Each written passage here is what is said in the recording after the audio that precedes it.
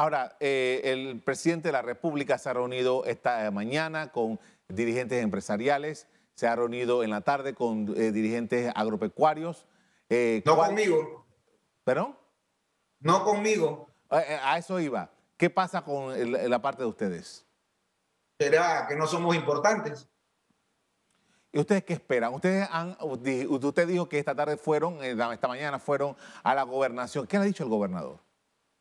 El gobernador quedó de llamar al señor presidente y me imagino que al señor ministro para ver si, si resuelven finalmente esto. Pero y se le dieron 24 horas, mañana vamos a regresar a la gobernación.